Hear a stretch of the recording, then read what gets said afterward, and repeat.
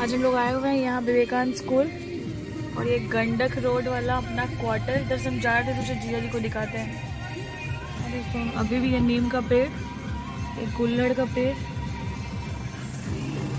जो सामने से क्वार्टर एक क्वार्टर ये गली ये फ़र्स्ट क्वार्टर हम लोग का। ये हम लोग का क्वार्टर पहले हम लोग यहाँ अभी तीन का लगाया हुआ शेड तीन का बाउंड्री किया हम लोग यहाँ पर हेज लगाए हुए थे। एसी लगा हुआ है। एकदम एग्जैक्ट क्वार्टर थोड़ा भी चेंज नहीं हो जैसे था वैसे ही ये हम आज से चालीस साल पहले। आपको बताएँ कि भाई पॉजिटिविटी की ओर ध्यान दे। बहुत सारे ऐसे सिचुएशन है लाइफ में हम्म, जब हम वन से लेके फाइव तक यानी जन्म भी तो यहीं पे हुआ होगा ना। हमको जहाँ तक याद है फाइव तक।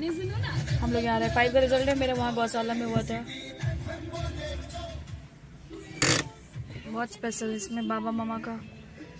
अंडर में सारा। लाइफ जी हैं, बहुत अच्छा लाइफ मतलब अपनी लाइफ का बेस्ट पार्ट जिसको हम बोल सकते हैं बेस्टेस्ट इसको भी फ्रेंड से भी दिखाएँगे ये बैक और ये मेरा स्कूल जो अभी बाउंड्री ऐसा हो गया तो थोड़ा पहले पीछे था। वेट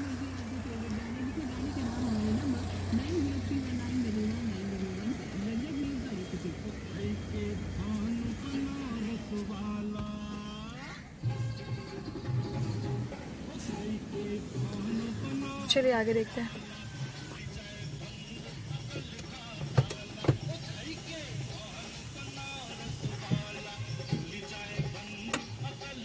आज हस्बैंड को दिखाने आई हूँ मैं अपना बचपन वाला क्वार्टर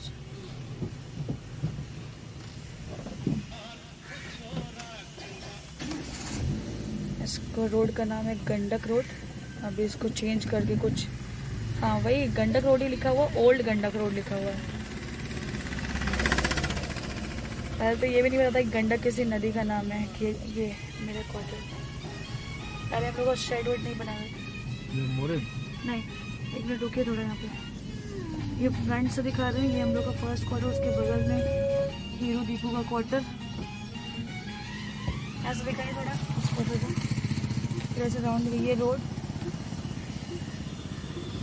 कैमरा में देखिए ना दिख रहा है दिख नहीं रहा ये जो फ़र्स्ट क्वार्टर एक सौ ग्यारह नंबर बचपन पूरा यहीं पे बीता है। मम्मी, बाबा, मामा, मम्मी, पापा, राहुल भैया, हम विवेक, दीपा, उसमें तो बुच्चन नहीं थी। यही क्वार्टर था। वैसे अभी भी ये मुनगा का गाज सहजन जिसको बोलते हैं हम लोग, वही गेट गेट पर दिखाइए फोकस करके एक सौ ग्यारह नंबर दिख रहा है जूम करके गेट का कॉर्नर पे टी आर टाइप ऐसे हाथ से फैलाइए तब जूम होगा। ऐसे करके क्वार्टर के कॉर्नर पर दिख रहा है one one one T R type दिख रहा है क्वार्टर का number one one one yes और इधर टीयर टाइप दिखा हुआ है। ये बाबा का क्वार्टर था इसमें मेरा तो बीच में फ्लावर फ्लावर का टपा था, और ये फ्रंट में बेबी लोग का घर सामने ये वाला घर बेबी लोग का। उसके बगल में साउथ इंडियन थी कम्मो लोग, उसका घर। इधर दिखा, ये ग्राउंड ये ग्राउंड पहले ओपन था। ये ग्राउंड पहले ओपन था, अब इसको बाउंड्री कर दिया गया, हम लोग देखते हैं कैसा आगे से लग रहा है। मुझे लीजिए थोड़ा साथ में। मेरी लाइफ का बेस्ट पार्ट मैं बोल सकती हूँ, अपनी लाइफ का बेस्ट पार्ट जहाँ हम लोगों ने स्पेंड किया। इसलिए आज हस्बैंड को दिखाने क्योंकि हम लोग इधर से जा रहे थे, इसलिए लगा कि इनको मैं थोड़ा दिखाती हूँ।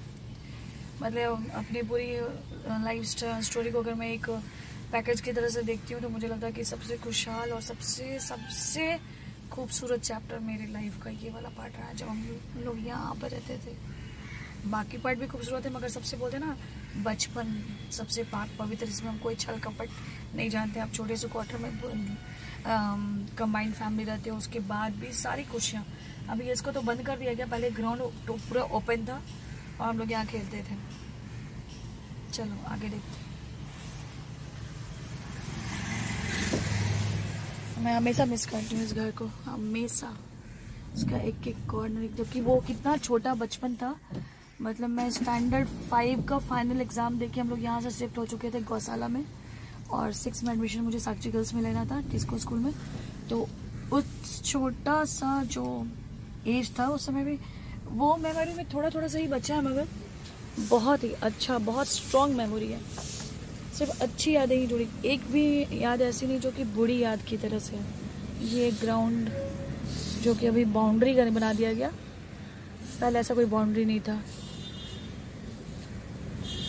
मतलब ईश्वर से ये प्रार्थना करते अगर दूसरा जन्म मिले तो मुझे वही फैमिली वही बाबा, मामा, वही माँ पिता, वही और ये मंदिर। आई डोंट नो मंदिर दिख रहा है कि नहीं, वहाँ मंदिर, शंकर भगवान और काली माँ का मंदिर। दुर्गा पूजा का जब टाइम आता था तो हम लोग जब छोटे थे तो मंदिर में पर डे देखने जाते थे कि क्या ग्रोथ आज मंदिर में मूर्ति माँ दुर्गा का कितना ज़्यादा बढ़ा। मतलब जैसे दुर्गा पूजा का मौसम आता था, जो सबसे पहला जो बेस बनता है, वो हस्क से, पुआल से हम लोग पुआल वाला भी पार्ट देखते थे। और पर डे एक राउंड लगाते थे मंदिर का कि मतलब आज मिट्टी का हो गया आज कलर में आ गया अब शुरू हो गया पूजा।